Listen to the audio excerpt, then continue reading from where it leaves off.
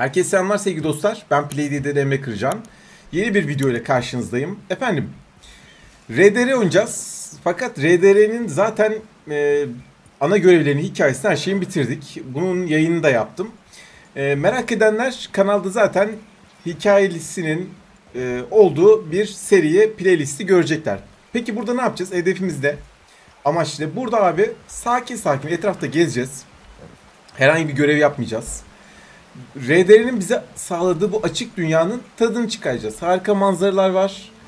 Etrafı gezeceğiz sakince. Mesela şu manzarayı izleyeceğiz abi. Yani bayağı bildiğin chill dediğimiz yani rahat, relax takıldığımız, etrafı incelediğimiz, at sırtı, sırtında etrafı gezdiğimiz, belki görmediğimiz bir şeyler vardır, manzara vardır. Bunları gördüğümüz e, bir deneyim yaşayacağız efendim. Bu tarz videolar YouTube'da zaten bolca var. Yani at sırtında etrafta sakince gezdiği, işte bu hub'ların yani çeşitli grafiklerin vesaire kapatıldığı, sadece sakince chill gezinti yaptığımız yayınlar, oyunlar şeyde var. YouTube'da zaten var. Bu da onlardan biri olacak.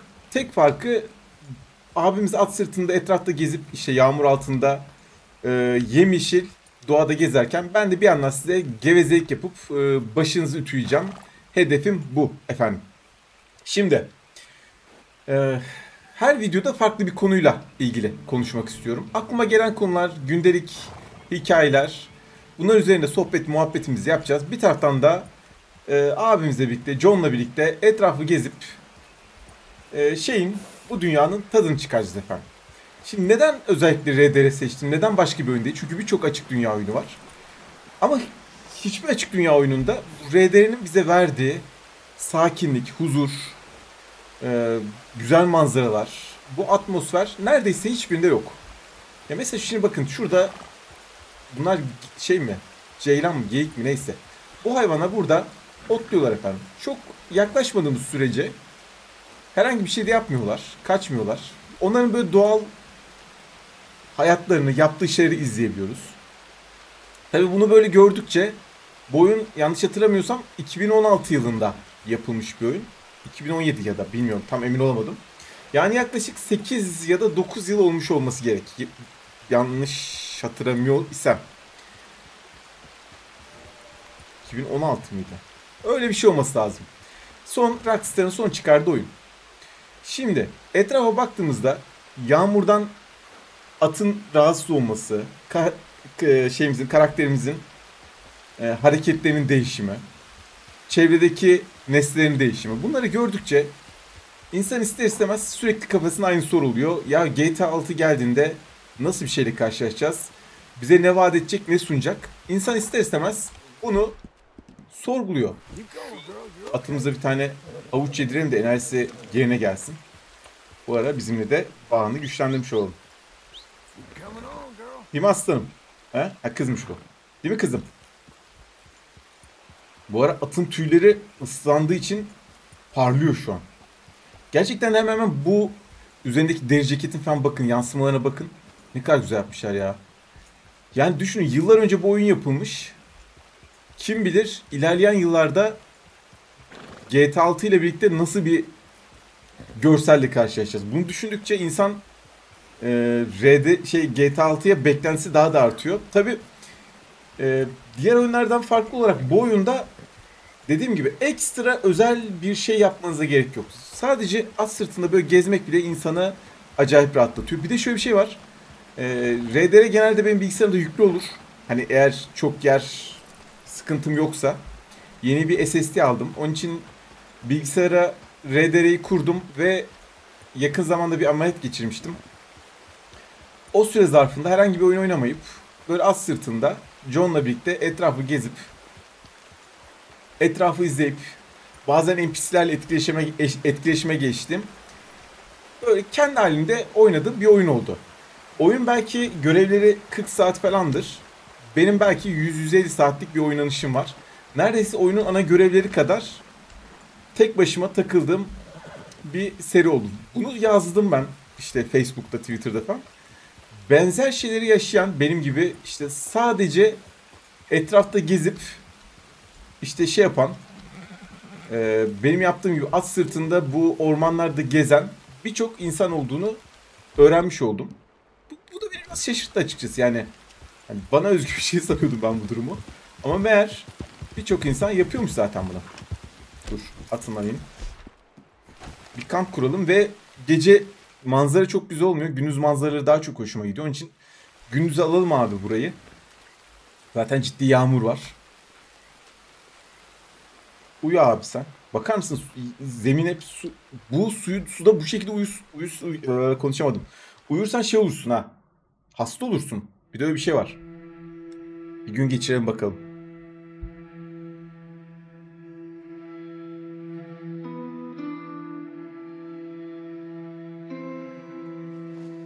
Evet. Hala ıslahız. Demek ki uzun bir şey olmuş. Yağmur uzun sürmüş.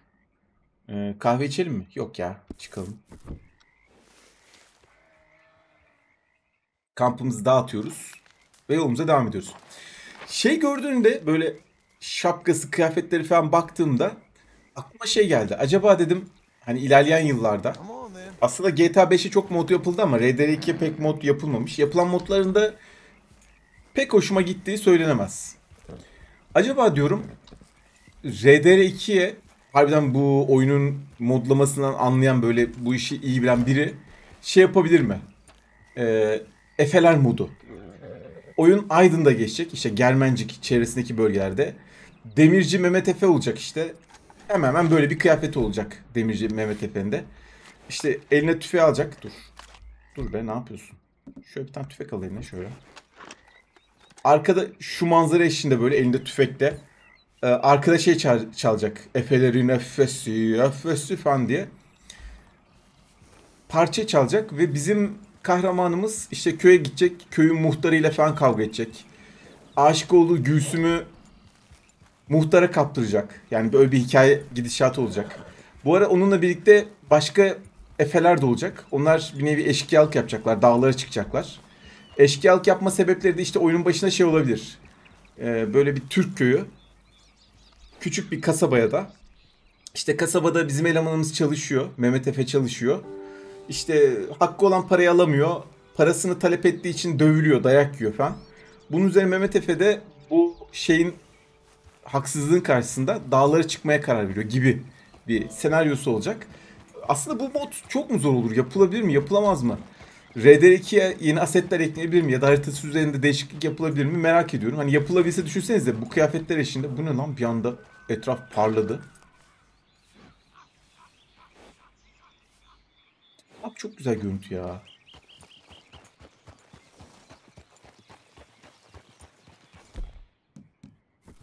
İşte böyle Mehmet Efe yanındaki yeni yoldaşlarıyla birlikte zaman içinde onun ekibine yeni adamlar da katılacak. İşte çeşitli yerleri basacağız. Milleti haraca bağlayacağız. Özellikle böyle köy ağlarını falan haraca bağlayan.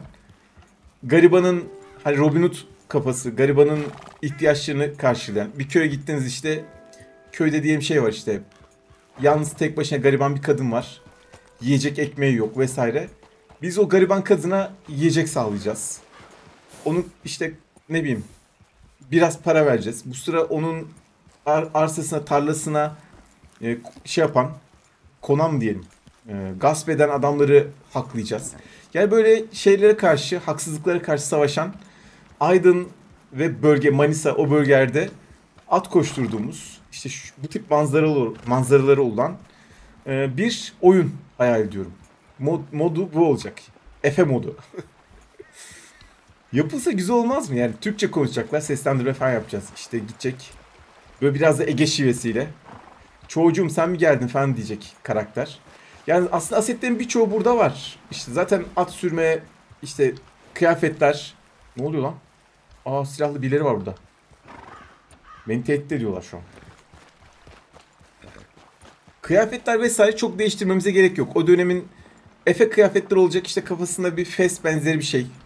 Birkaç Türk işi işlemeli yelek ya da kuşak be- beline bağlanacak kırmızı bir kuşak vesaire böyle bir şey konulduğu takdirde çok büyük şey olmayacaktır ya.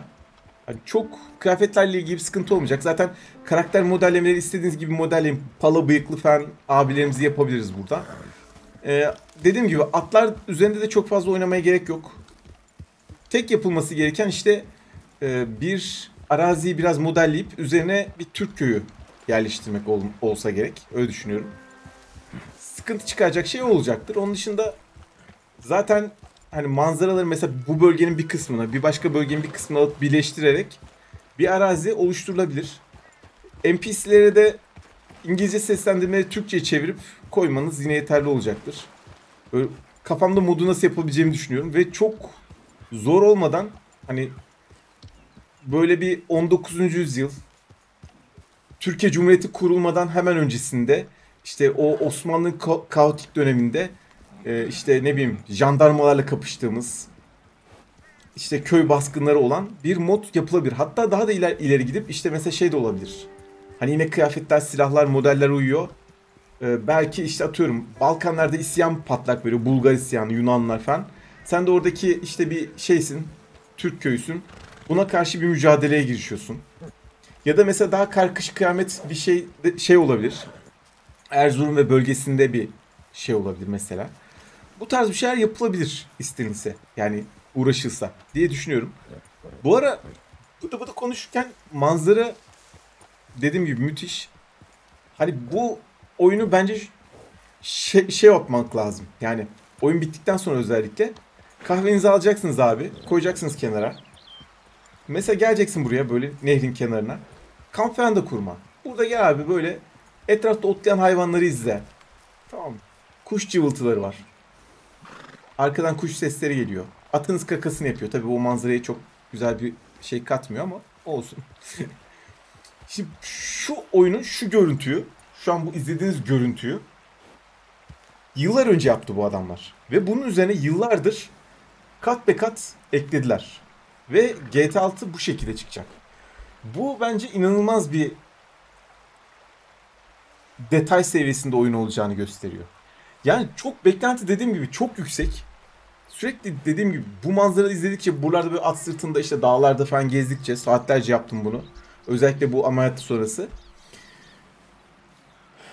İnsan ister istemez sürekli dediğim gibi kafasında şeyi kuruyor. En son Forza 5'te e, bu keyfi hissi yaşadım ben. Ve daha sonrasında aa bu atlar bu atlar yakalanabiliyor değil mi? Vahşi at bunlar. Ne haber? Bak bak hareketlere bak. Uğraşmayacağım tabii onları yakalamayla falan. Ya aslında normalde işte bir beyaz ekran, bir fon önünde bir şeyler anlatıyordum. Dedim ki ya hani bir fon önünde film, oyun ya da gündelik şeyler konuşmak yerine neden işte bu tarz bir video çekerek yapmayayım bunu? Böyle aklıma geldi. Bir yandan dediğim gibi manzaranın keyfini çıkarıyorum. Etrafta vahşi atlar, geyikler.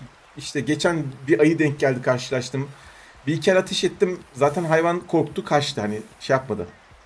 Ee, şansını zorlamadı. Ee, böyle bir atmosferde neden sohbeti muhabbetimi yapmayayım diye düşündüm efendim.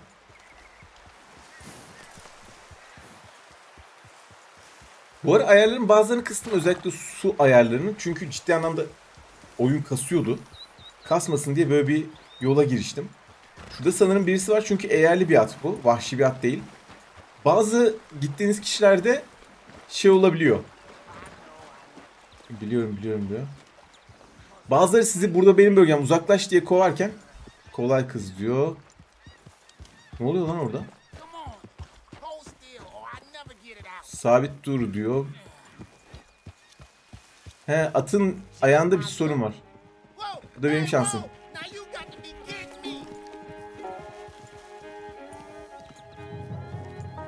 Hiç peşinden koşup atı alıp sana getiremem kardeşim. Lütfen bana yardım et. İlgilenmiyorum. Herkes kendi yoluna gider. Lütfen. Lütfen atımı kaybedemem. Yardım et bana. Bu benim problemim değil dostum. That's all right.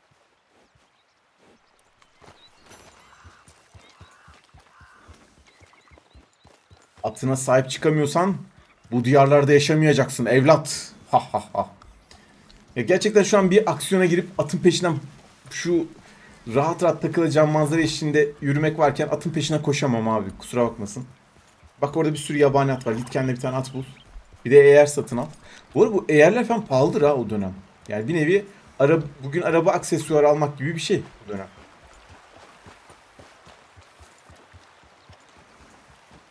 Şu bir at mı yoksa şey mi? Evet at değil mi? Vahşi at. Hareketlere bak. Bu arada oyunun manzarasının en güzel olduğu yer bence şu bu ova, bu bölge. Çok fazla kuş var. Geyiktir, vahşi hayvan çok fazla. Manzara çok güzel, geniş, yemyeşil bir arazi. Mor çiçekler açmış. Bence oyunun en tatlı arazilerinden biri burası. Hareketlere bak.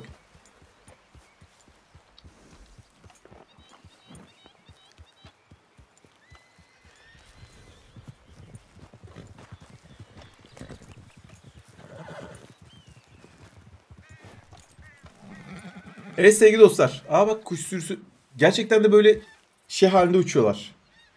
Bir üçgen gibi bir şey oluşturarak uçuyor kuşlar gerçekten. Evet sevgili dostlar videoyu burada bitiriyorum. Buraya kadar benim gevezeliğimi çekip güzel manzarayı benimle birlikte izleyen herkese teşekkür ediyorum. Bir sonraki videoda devam edeceğiz. Ama şimdilik bu kadar. Görüşmek dileğiyle.